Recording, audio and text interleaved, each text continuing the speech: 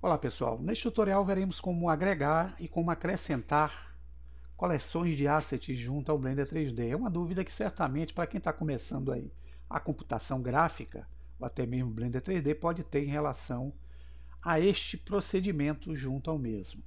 Os assets são objetos ativos, podem ser formas, modelos, materiais, efeitos, que a gente agrega em coleções para uso futuro em novos projetos. Para entender isso, eu vou usar a versão 3.6.0, tá? Vamos lá.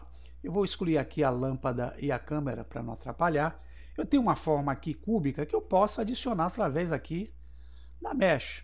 Agora, digamos que eu resolvesse modificar a aparência desse objeto. Então, eu vou entrar no modo Edit Mode, vou utilizar aqui a tecla I, clicando duas vezes, para acionar aquela ferramenta chamada Inset Faces. Eu insiro faces internas Vou usar o Alt E e vou usar o Extrude Along Normals. Aqui eu movimentando o mouse para fora eu crio essa forma diferente daquele cubo inicial.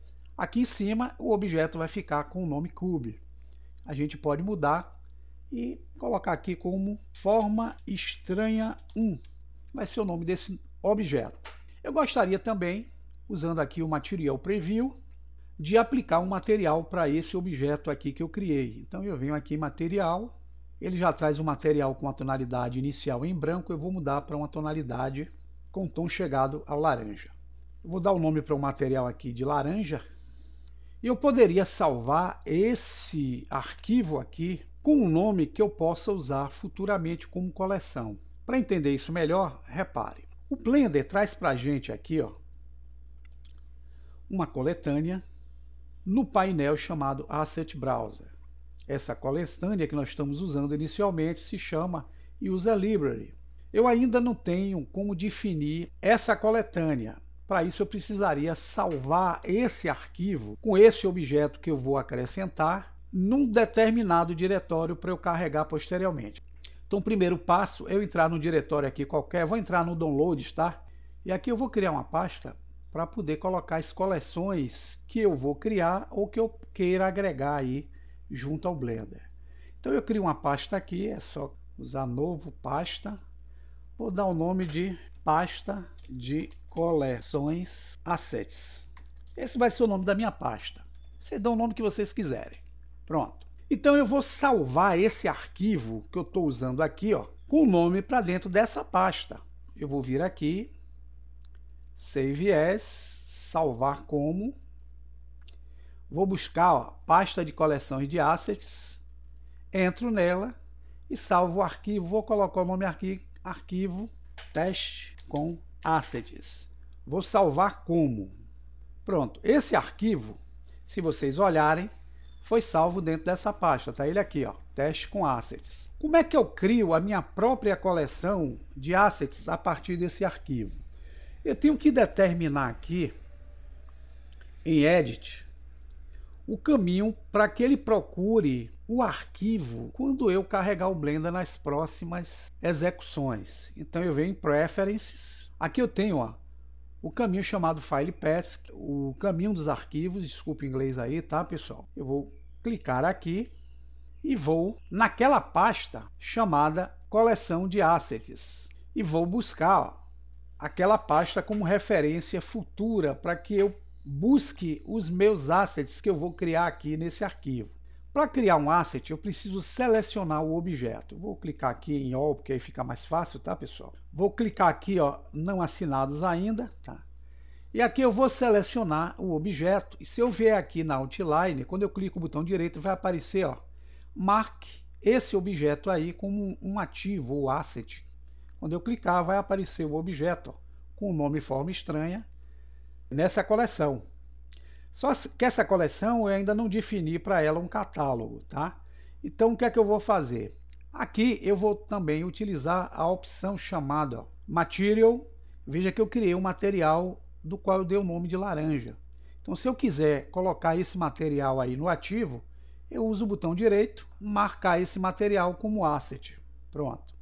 Um detalhe, eu não vou poder apagar esse item aqui, nem esse item de cores, porque senão os assets vão ser excluídos aqui da coleção. Vai ficar nessa coleção que eu dei o nome de teste com assets. Eu vou salvar o arquivo novamente lá naquele mesmo lugar. Como eu já tenho o diretório definido, eu dou o save, ele já salva automático. Se vocês vierem aqui na opção Current File, eu posso colocar esses arquivos dentro de alguns catálogos. Então eu posso vir aqui, ó, clicar na opção New Catalog, posso dar um nome aqui de formas e posso criar um outro catálogo do qual eu posso dar o nome de materiais. Até aí tudo bem, né, pessoal? Agora nós vamos vir aqui na opção de nós criamos nesse arquivo os assets e vamos jogar ó, a forma estranha a um catálogo chamado formas e o material ao catálogo chamado matérias ou materiais. Pronto, até aí tudo ótimo, nós vamos salvar o nosso arquivo, vamos resetar esse Blender, vamos sair dele e vamos carregar o Blender novamente. Pronto, inicializamos o Blender. Eu agora gostaria de utilizar aquela coletânea que eu criei anteriormente. Então eu venho aqui, ó, Asset Browser, vocês vão ver que eu tenho já a coletânea denominada ó, pasta de coleção Assets. Se eu selecionar ela, vocês vão ver ó, que eu tenho os objetos, formas que eu criei e materiais que eu criei anteriormente fazendo parte do Blender 3D. Ah, Luciano, mas eu gostaria de agregar coleções extras, não produzidas por mim, mas por terceiros, junto à minha pasta de coleções. Vamos começar aqui pelo Blender 3D, tá? Então, na parte de downloads, aqui em cima vocês vão encontrar a opção chamada Demo Files, que são os arquivos de demonstração. Eu tenho duas coletâneas aqui na condição CC0. O que é o CC0? São coletâneas que vocês podem usar livremente, sem nenhum custo, nem licença para tal. Tem Human Base Mesh, que nós já vimos no tutorial anterior. Para poder baixar é só clicar aqui e ela vai ser baixada lá na pasta Download. Tá? E essa daqui é só clicar também, ela vai ser baixada lá na pasta Download. Então, voltando na pasta Download, vocês vão ver que eu tenho as duas coletâneas aqui, tá vendo? Então, o que é que eu vou fazer? Na primeira diorama aqui, eu vou abrir o WinRAR e vou trazer a pasta dessa coletânea para aqui para dentro da pasta de coleções Assets. Eu tenho agora ó, o meu arquivo que eu gerei com os meus assets que eu criei e tenho a pasta com os arquivos da diorama. Só que aqui eu vou criar uma nova pasta. Vou colocar aqui o nome de pasta Human Base Meshes. Pronto que é que eu vou? Eu vou voltar aqui e vou clicar, ele vai abrir o arquivo compactado Human Base que eu baixei.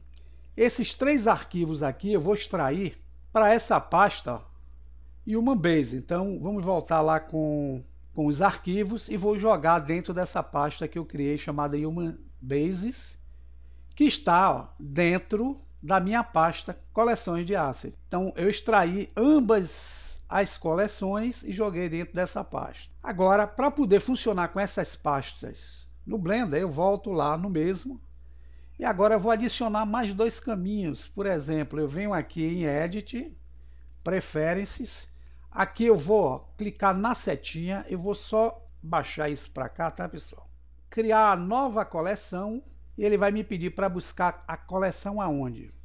Lá na pasta de coleções que eu gerei, ó e vou usar Human Base Mesh. Essa vai ser a minha primeira coleção que eu vou agregar. Com ela selecionada, eu vou entrar nela e vou ó, usar o Add Asset Library.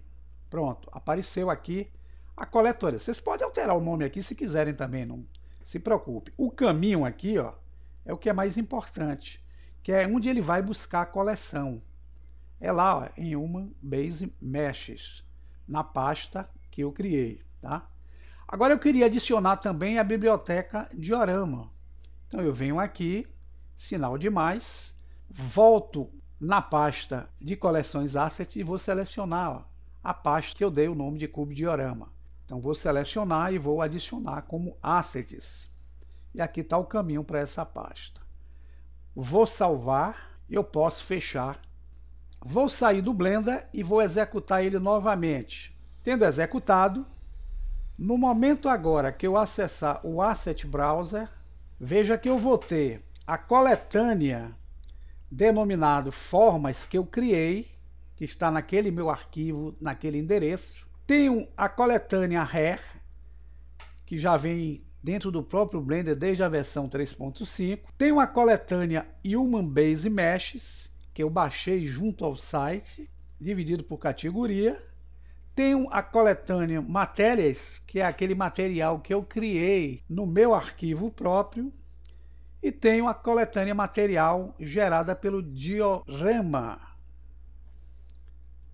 que tem uma diversidade de materiais gerados na coletânea. E objetos, que são os objetos disponíveis pela Diorama. Então eu posso ó, vir aqui, colocar o objeto, posso usar um S de escala para aumentá-lo, tem um objeto já pré-configurado para meu uso aqui nesse projeto que eu estou abrindo aqui junto ao Blender posso usar minha coleção que eu criei, assim como as coleções que eu agreguei de forma prática junto ao Blender 3D. Até o próximo tutorial.